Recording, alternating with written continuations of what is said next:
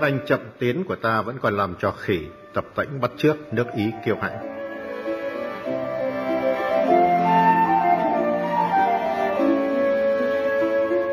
Đó là lời của một công tước Anh đã thốt lên trong vở kịch Richard đệ nhị của William Shakespeare, kịch gia vĩ đại nhất của nước Anh. Shakespeare dù đã sống đến thế kỷ thứ 17, vẫn được xem như là người của thời đại phục hưng, tức là Renaissance. Vở Richard đệ nhị lấy bối cảnh là cuối thế kỷ thứ 14, khi nước Anh vẫn còn lạc hậu và nền móng của các cơ sở trí thức của giai đoạn phục hưng bắt đầu được người Ý xây dựng. Trân Hành kính chào quý vị.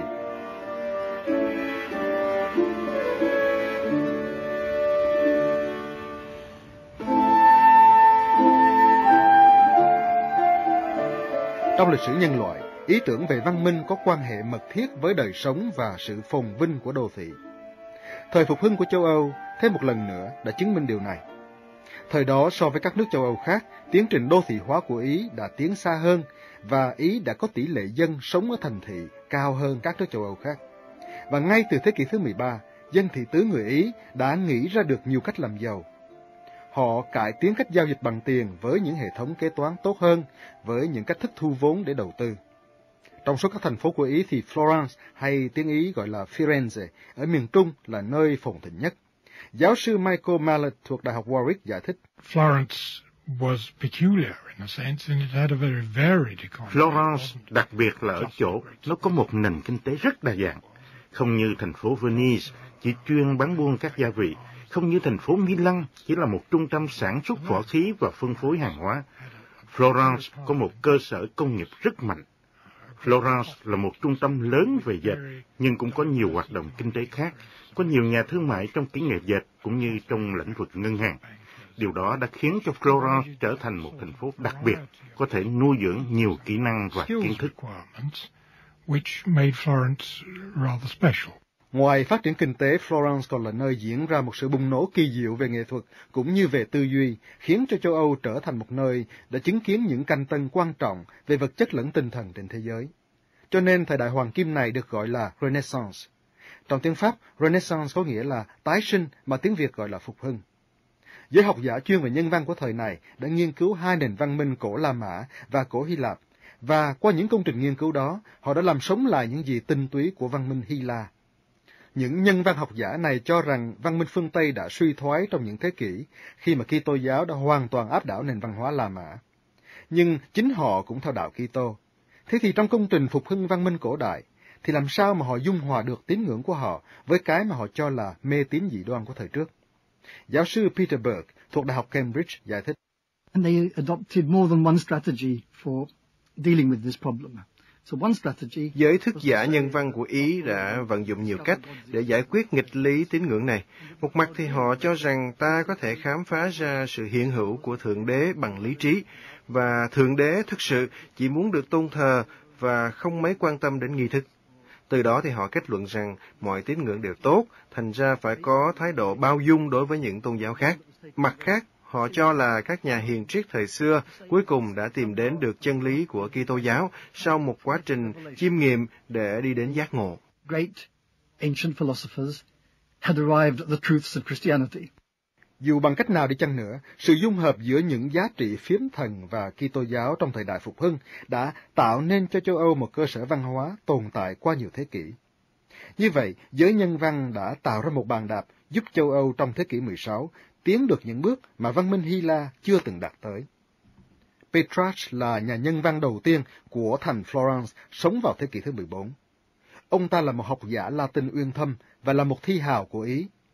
Theo học giả Nicholas Mann, một tác giả đã viết nhiều về Petrarch, thì ông ta là người đã tìm hiểu về người cổ La Mã một cách sâu sắc hơn cả. He examined everything carefully before he passed it on, and he uses one... Petrarch xem xét tỉ mỉ mọi chuyện trước khi viết lại, và ông ta dùng những sự kiện do một tác giả cổ đại để lại để kiểm chứng những gì đến từ một tác giả cổ đại khác, và qua đó, ông có thể xác minh những gì đã thật sự xảy ra. Không như những người cùng thời, ông Petrarch nhận thức được là có một sự khác biệt thật sự giữa thế giới cổ đại và nước Ý của thế kỷ thứ 14. Ông biết là bánh xe lịch sử đã lăn xa rồi. Trên phương diện nghiên cứu thời cổ đại, Petrarch đã chứng tỏ là có một đầu óc phân tích rất hiện đại và tính hiện đại của Petrarch cũng đã được thể hiện qua một khía cạnh khác. The whole of Petrarch's work could be thought of as being in one sense autobiographical. Toàn bộ tác phẩm của Petrarch có thể nói là có tính tự truyện theo một nghĩa nào đó. Đó là một thể loại phát nguồn từ hồi Thánh Augustine, người viết tự truyện lớn của giai đoạn cuối thời cổ đại, người đã nổi tiếng với cuốn Những lời thú tội, kể lại cuộc đời của một thanh niên xa vào vòng trụy lạc, ăn chơi chắc táng để rồi trở lại con đường chính thiện. Câu chuyện về cuộc đời của Petrarch cũng tương tự như vậy, và ông ta cố gắng tuân thủ thể loại tự truyện vốn đòi hỏi một sự tự ý thức rất là cao. Đó là một điều hiếm thấy trong thời đại của Petrarch. Tôi cho tự ý thức là một phần cần thiết của quan niệm hiện đại về con người.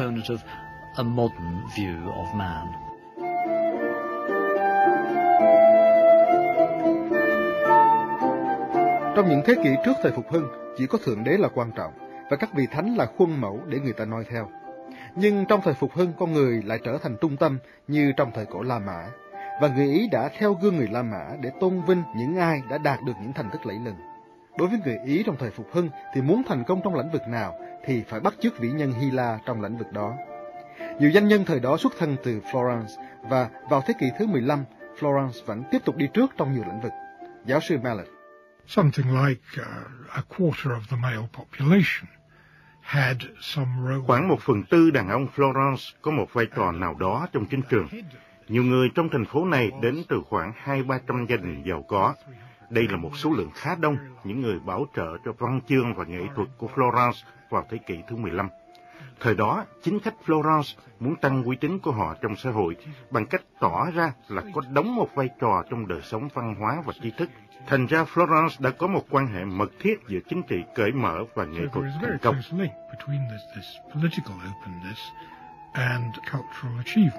Nhưng dù vừa giàu vừa giỏi, Florence đã không duy trì được ổn định chính trị một cách lâu dài. Cũng may là chiến tranh và xáo trộn không phải lúc nào cũng là kẻ thù của văn minh. Học giả David Chambers thuộc Học viện Warburg của Đại học London cho biết.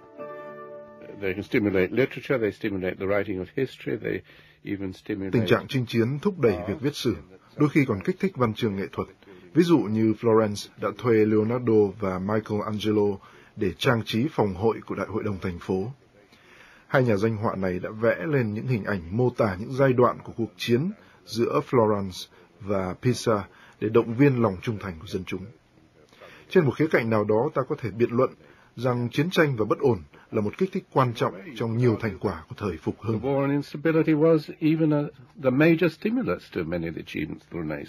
Tai biến chính trị cũng còn kích thích việc viết sử, như giáo sư Peter Burke dẫn chứng.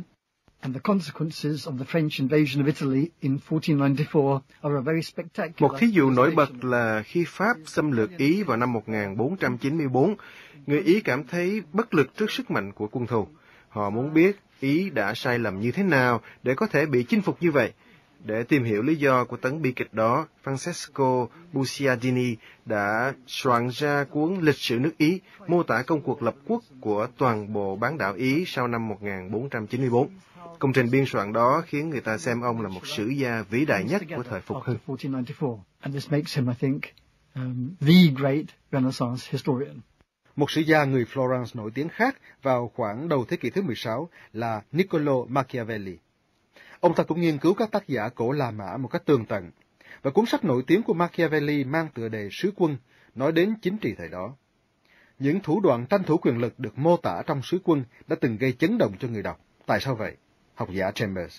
The explicit statement that rulers whether secular or Trong sứ quân, Machiavelli nói rõ ra rằng nếu muốn thành công, một giáo chủ hay một nhà lãnh đạo chính trị cần phải vô lương tâm, phải gian trá, phải biết nuốt lời hứa và còn cần phải biết tùy cơ để ứng xử tàn bạo hay là nhân hậu.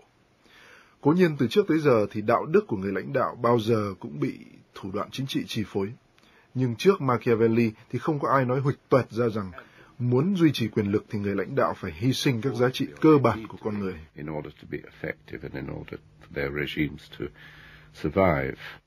Điều đáng chú ý là Machiavelli không coi quân quyền là một cái gì đó thiên định, mà là một thành quả của thủ đoạn chính trị.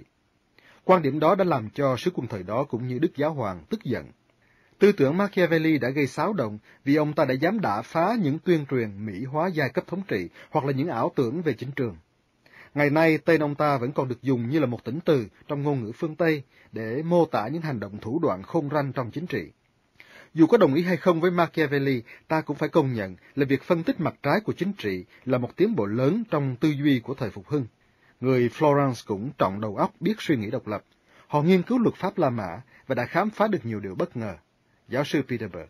They studied Roman law in order to apply it in their own states. Thoạt đầu, người Florence muốn áp dụng luật La Mã, nhưng mà để thấu đáo được những văn bản cổ, họ phải dựng lại những bối cảnh văn hóa xã hội chính trị của thời cổ La Mã. Và vào khoảng giữa thế kỷ 16, họ đã đi đến kết luận rằng họ không nên bắt chước luật La Mã mà nên soạn ra luật mới dựa trên các tập tục địa phương. Reconstruct something on the basis of local customs.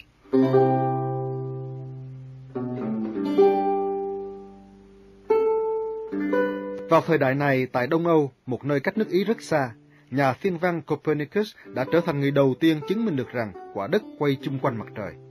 Ngày nay thì ta xem đó là một kiến thức khá sơ đẳng, nhưng trong thời buổi mà ai ai từ thuở cha sinh mẹ đẻ đều tin là mặt trời xoay quanh quả đất vì nó mọc ở phương Đông và lặn ở phương Tây, thì phát kiến của Copernicus quả là có tính cách mạng. Và Copernicus đã tỏ vẻ can đảm khi ông ta dám đi ngược dòng kiến thức thời thượng bằng một suy luận có tính cách thuần túy khoa học.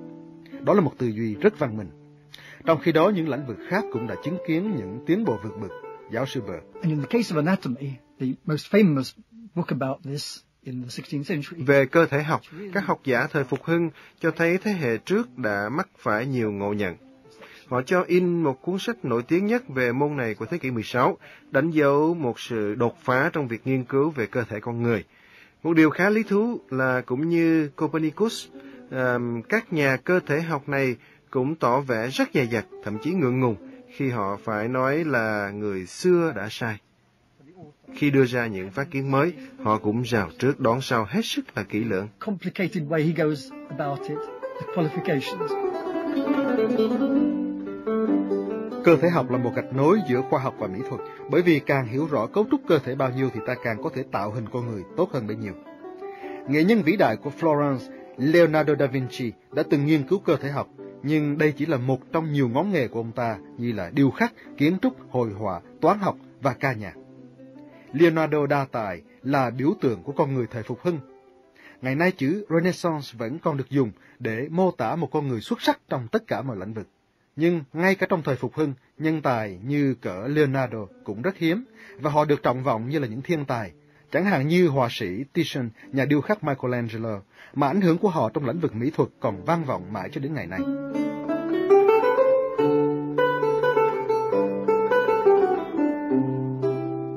Cố nhiên, không phải bất cứ ai cũng có thể trở thành được một ờ, Leonardo hay là Michelangelo, nhưng người thời phục hưng tin là ai ai cũng có thể học hỏi để trở thành một con người lịch lãm. Học giả Chambers. We ought to be able to use the language in a highly literate and Con người lịch lãm phải biết ăn nói lịch thiệp và văn vẻ, phải biết chút ít hội họa, phải biết khiêu vũ, biết hát, phải giỏi cưỡi ngựa, phải biết cách ăn mặc lịch sự. Anh ta phải có đầu óc bén nhạy và trạo phúng. Đó là những đòi hỏi cao cấp để giao du thành công trong xã hội. All these aspects of refinement in social life. Đó là những giá trị vẫn còn được trọng vọng cho đến ngày nay. Như vậy thì cái quan niệm về phong cách lịch lãm là một phần của quan niệm của thời phục hưng về văn minh. Dần già, người Ý đã xây dựng lên các định chế về nhà nước, luật pháp tôn giáo, giáo dục vân vân. Mọi nỗ lực đều nhằm phát huy cái tính lịch sử trong cuộc sống đô thị. And civility comes also to have associations. Tôi nghĩ từ thế kỷ 16, phép lịch sự đã được liên kết với tinh thần đạo đức. Lịch sự có nghĩa là văn minh, tức là tương phản với man dợ. Người thầy Phục Hưng xem man dợ không chỉ có nghĩa là lạc hậu hay quê mùa, mà còn nói đến những xứ kém văn minh bên ngoài đang đe dọa đến sự sống còn của nước Ý, như những đạo quân đánh thuê người Đức hung dữ hay người Thổ sau khi thôn tính miền đông địa Trung Hải và đang dòm ngó miền nam của nước Ý. Barbarity of non-Italian civilized forces.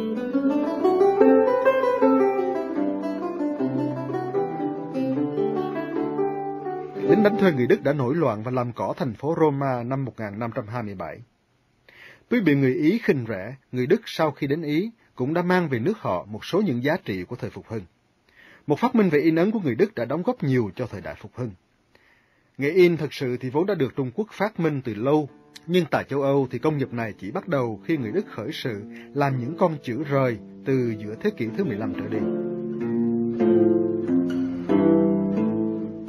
Trong thế kỷ thứ 16 thì Venice bắt đầu vượt Florence như là trung tâm văn hóa. Một phần cũng là do Venice lúc ấy đã trở thành thủ đô của nghề in tại Ý. Nhờ có hải cảng tốt, có thể chuyển sản phẩm in ấn đi khắp châu Âu.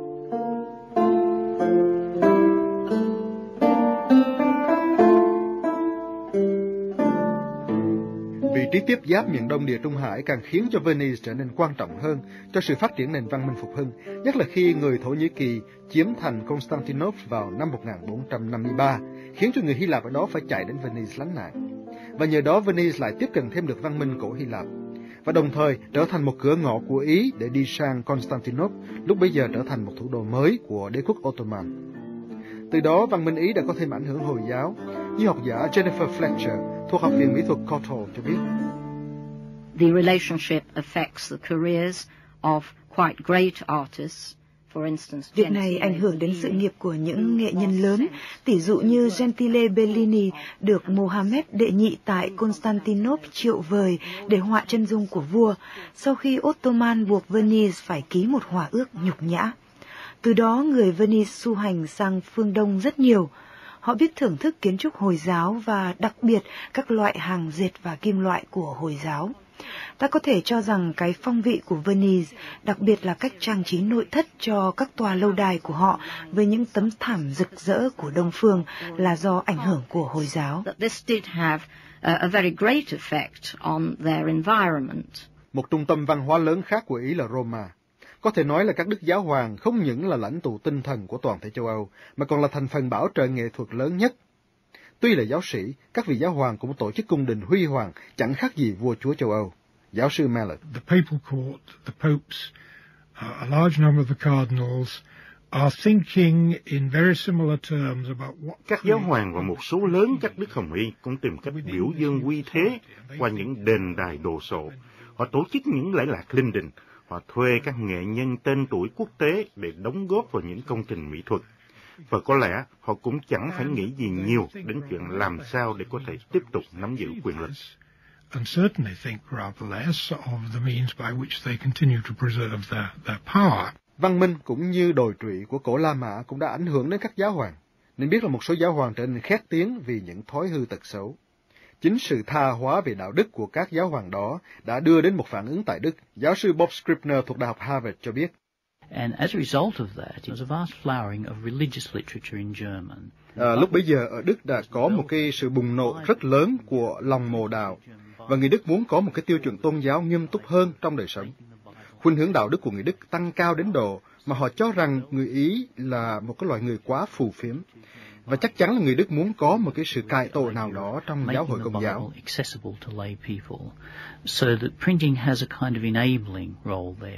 Nghề in đã trở nên một động lực lớn thúc đẩy cải cách.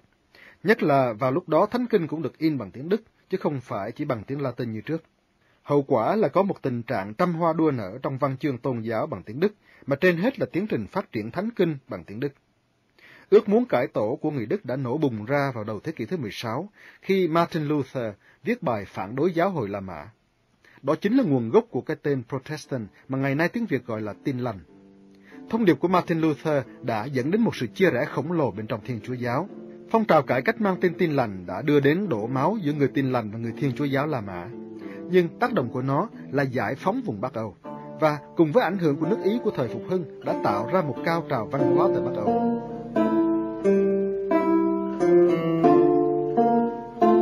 Gia Shakespeare của Anh là một phần của cao trào đó.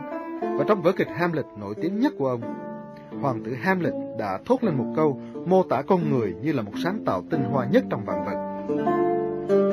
Ôi con người, công trình tuyệt diệu của tạo hóa, trí tuệ cao siêu, khả năng vô bờ, thân hình tuyệt mỹ, dáng vóc tựa thiên thần, thông minh như thánh sống. Đó là một ý tưởng mang đầy tính chất phục hưng.